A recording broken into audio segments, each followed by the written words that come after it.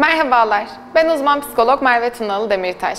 16 Haber ekibiyle birlikte sizlere özellikle ailelerin çocukları hakkında merak ettikleri üzerine kısa bilgiler sunacağız. Çocuklar oyunda kaybettiklerinde ya da hata yaptıklarında neden yüksek tepkiler verir bunu konuşalım.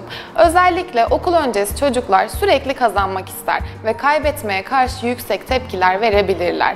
Bu davranışlar genelde kendisini oyun içerisinde gösterir. Bu gibi durumlarda ebeveynlere ilk önerimiz çocuğunuzun sizin kaybettiğinizi görmesini sağlamanız ve hata yaptığınızı görmesine de müsaade etmeniz yönündedir.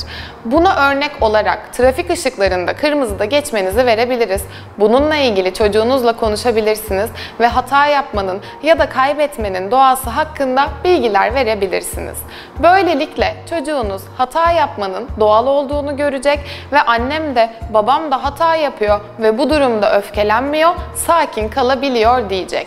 Unutmayalım ki çocuklarımız biz ne yaparsak aynısını yaparlar ve durumlar karşısında bizlerle benzer tepkiler verirler.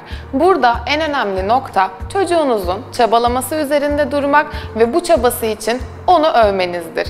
Oyunlarda kazanmaktan ziyade eğlenmenin önemi vurgulanmalı. Hatta bunu slogan haline bile getirebilirsiniz. Bol oyunlu günler diliyorum. Bir sonraki hafta görüşmek üzere, hoşçakalın.